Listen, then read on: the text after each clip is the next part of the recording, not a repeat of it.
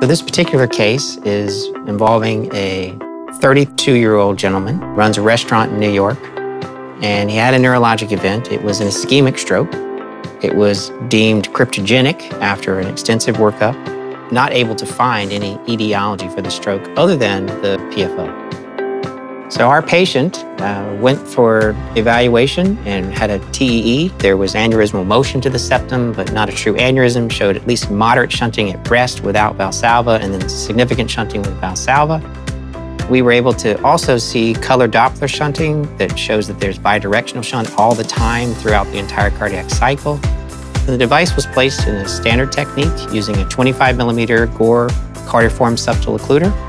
Uh, the device went in very easily on the first attempt without any issues or any complications. We did imaging that you can see of the device after deployment, and we also did a saline injection after deployment showing no residual shunting at the completion of the procedure.